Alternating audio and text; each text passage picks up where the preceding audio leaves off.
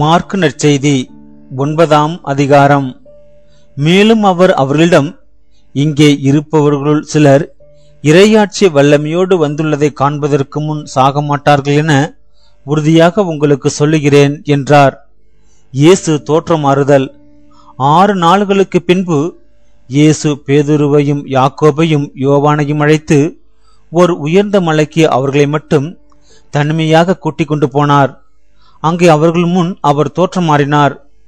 அவருடைய ஆடைகள் இவ்வுலகில் எந்த சலவைக்காரரும் வெளுக்க முடியாத அளவுக்கு வெள்ளை வெளிரென ஒளி வீசின. அப்போது எலியாவும் மோசேயும் அவர்களுக்கு தோன்றினர். இருவரும் இயேசுவோடு உரையாடிக் கொண்டிருந்தார்கள். பேதுரு இயேசுவை பார்த்து ரபி நாம் இங்கேயே இருப்பது நல்லது. உமக்கு ஒன்றும் மோசைக்கு ஒன்றும் எலியாவுக்கு ஒன்றுமாக மூன்று கூடரங்களை அமைப்போம் என்றார். தாம் சொல்வது என்னவென்று அவருக்கு தெரியவில்லை. ஏனெனில் அவர்கள் மிகுந்த அச்சம் கொண்டிருந்தார்கள். அப்போது ஒரு மேகம் வந்து அவர்கள் மேல் நிழலிட அந்த மேகத்தினின்று என் அன்பார்ந்த மைந்தர் இவரே இவருக்கு செவி சாயுங்கள் என்று ஒரு குரல் ஒலித்தது. உடனடியாக அவர்கள் சுற்றும் முற்றும் பார்த்தார்கள். தங்கள் அருகில் இயேசு ஒருவரை தவிர வேறு எவரையும் காணவில்லை. அவர்கள் மலையிலிருந்து இறங்கி வந்து கொண்டிருந்த போது அவர் மாண்ட மகன் இறந்து உயிர்த்தெழும் வரை நீங்கள் கண்டதை எவருக்கும் எடுத்துரைக்க கூடாது என்று அவர்களுக்கு கட்டளையிட்டார். அவர்கள் இவ்வார்த்தையை அப்படியே மனதில் இருத்தி இறந்து உயிர்த்தெழுதல் என்றால் என்னவென்று ஒருவரோடு ஒருவர் பேசிக்கொண்டார்கள். அவர்கள் அவரிடம் எலியாதான் முதலில் வர வேண்டும் என்று மறைநுள்ள அறிஞர் கூறுவதேன் என்று கேட்டார்கள். அதற்கு அவர் எலியா முதலில் வந்து எல்லாவற்றையும் சீர்படுத்தப் போகிறார் என்று கூறுவது உண்மையே. ஆனால் மாண்ட மகன் பல துன்பங்கள் படவும் இகழ்ந்து தள்ளப்படவும் வேண்டுமென்று அவரை குறித்து எழுதப்பட்டுள்ளதே. அது எப்படி? ஆகவே நான் உங்களுக்கு சொல்லுகிறேன். எலியா வந்துவிட்டார். அவர்கள் தாங்கள் விரும்பியவரெல்லாம் அவருக்கு செய்தார்கள். அவரை குறித்து மறைநூல் எழுதியுள்ளவாறே அவை நிகழ்ந்தன என்றார். தீய ஆவி பிடித்திருந்த சிறுவன் நலமாதல். அவர்கள் மற்ற சிறிடம் வந்தபொழுது பெருந்தலான மக்கள் அவர்களை சூழ்ந்திருப்பதையும் மறைநூல் அறிஞர் அவளுடன் வாதாடுவதையும் கண்டனர்.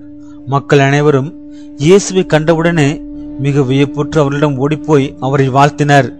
அவர் அவர்களை நோக்கி நீங்கள் இவர்களோடு எதை பற்றி வாதாடுகிறீர்கள்? என்று கேட்டார். அப்போது கூட்டத்திலிருந்து ஒருவர் அவரை பார்த்து போதகரே தீயாவி பிடித்து பேச்சிழந்த என் மகனை உம்மிடம் கொண்டு வந்தேன். அது அவனை பிடித்த அந்த இடத்திலேயே அவனை கீழே தள்ளுகிறது. அவன் வாயில் நுரை தள்ளி பற்களை நெரிக்கிறான். உடம்பும் விரைத்து போகிறது. அதை ஓட்டிவிடும்படி நான் உம் சிறிடம் கேட்டேன். அவர்களால் இயலவில்லை என்று கூறினார். அதற்கு அவர் அவளிடம் நம்பிக்கையற்ற தலைமுறையினரே எவ்வளவு காலம் நான் உங்களோடு இருக்க இயலும்? எவ்வளவு காலம் நான் உங்களை பொறுத்துக் கொள்ள இயலும்? அவனை என்னிடம் கொண்டு வாருங்கள் என்று கூறினார். அவர்கள் அவனை அவனிடம் கொண்டு வந்தார்கள். அவரை கண்டவுடன் அந்த ஆவி அவனுக்கு வலிப்பு உண்டாக்க அவன் தரையில் விழுந்து புரண்டான். வாயில் நுரைத்தள்ளியது. அவர் அவனுடைய தந்தையை பார்த்து இது இவனுக்கு வந்து எவ்வளவு காலமாயிற்று? என்று கேட்டார். அதற்கு அவர் குழந்தை பருவத்திலிருந்து இது இருந்து வருகிறது. இவனை ஒழித்துவிட தீயிலும் தண்ணீரிலும் பலமுறை அந்த ஆவி இவனை தள்ளியதுண்டு. உம்மால் ஏதாவது செய்ய இயலுமானால் எங்கள் மீது பரிவு கொண்டு எங்களுக்கு உதவி செய்யும் என்றார். இயேசு அவரை நோக்கி இயலுமானாலா? நம்புகிறவருக்கு எல்லாம் நிகழும் என்றார். உடனே அச்சிறுவன் தந்தை நான் நம்புகிறேன். என் நம்பிக்கையின்மை நீக்க உதவும் என்று கதறினார். அப்போது மக்கள் கூட்டம் தம்மிடம் ஓடி வருவதை இயேசு கண்டு அந்த தீய ஆவியை அதட்டி ஊமி செவிட்ட ஆவியே உனக்கு கட்டளையிடுகிறேன். இவனை விட்டு புறப்பட்டு போ. இனி இவனுள் நுழையாதே என்றார். அது அலறி அவனுக்கு மிகுந்த வலிப்பு உண்டாக்கி வெளியேறியது. அச்சிறுவன் செத்தவன் போலானான். ஆகவே அவர்கள் பலர் அவன் இறந்து விட்டான் என்றனர். இயேசு அவன் கையை பிடித்து தூக்கிவிட்டார். அவனும் எழுந்தான். அவர் வீட்டில் நுழைந்ததும் அவருடைய சீடனுடன் தனிமையாக வந்து அதை ஏன் எங்களால் ஓட்ட இயலவில்லை? என்று கேட்டனர். அதற்கு அவர் இவ்வகை பேய் இறை வேண்டினாலும் நோம்பினாலுமன்றி வேறு எதனாலும் வெளியேறாது என்றார். இயேசு தம் சாவை இரண்டாம் முறை முன்னறிவித்தல். அவர்கள் அங்கிருந்து புறப்பட்டு கலிலேயா வழியாக சென்றார்கள். அது யாருக்கும் தெரியக்கூடாது என்று இயேசு விரும்பினார். ஏனெனில் மாண்ட மகன் மக்களின் கையில் ஒப்புவிக்கப்படவிருக்கிறார். அவர்கள் அவரை கொலை செய்வார்கள். கொல்லப்பட்ட மூன்று நாள்களுக்கு பின் அவர் உயிர்த்தெழுவார் என்று அவர் தம் சிறருக்கு கற்பித்துக் கொண்டிருந்தார். அவர் சொன்னது அவர்களுக்கு விளங்கவில்லை. அவரிடம் விளக்கம் கேட்கவும் அவர்கள் அஞ்சினார்கள். யார் மிக பெரியவர்? அவர்கள் கப்பர்நாமுக்கு வந்தார்கள். அவர்கள் வீட்டில் இருந்த பொழுது இயேசு வழியில் நீங்கள் எதை பற்றி வாதாடி கொண்டிருந்தீர்கள்? என்று அவர்களிடம் கேட்டார். அவர்கள் பேசாதிருந்தார்கள். ஏனெனில் தங்களுள் பெரியவர் யார் என்பதை பற்றி வழியில் ஒருவரோடு ஒருவர் வாதாடி கொண்டு வந்தார்கள்.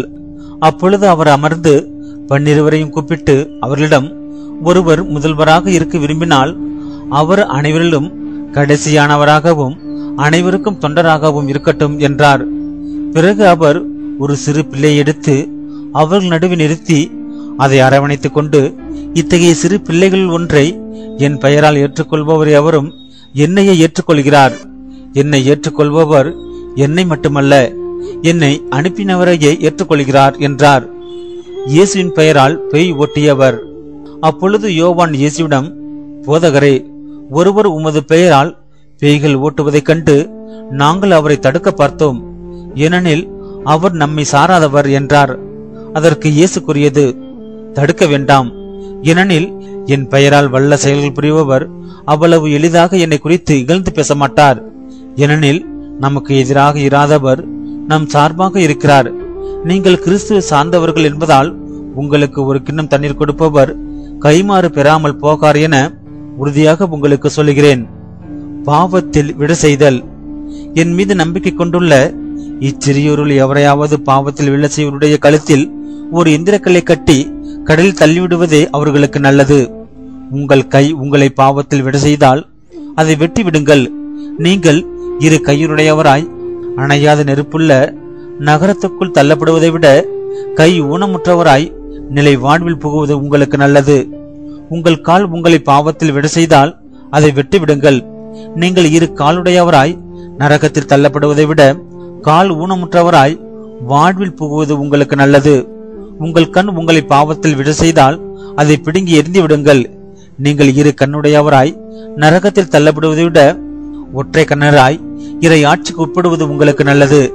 நரகத்திலோ அவர்கள் தின்னும் புழு சாகாது நெருப்பும் அவ்வியாது. ஏனெனில் பழிப்பொருள் உப்பால் தூய்மையாக்கப்படுவது போல் ஒவ்வொருவரும் நெருப்பால் தூய்மையாக்கப்படுவர். உப்பு நல்லது ஆனால் அது ஓப்பற்று போனால் எதை கொண்டு அதை ஓர்ப்புள்ளதாக்குவீர்கள் நீங்கள் உப்பின் தன்மையை கொண்டிருக்க ஒருவரோடு ஒருவர் அமைதியுடன் வாழுங்கள்.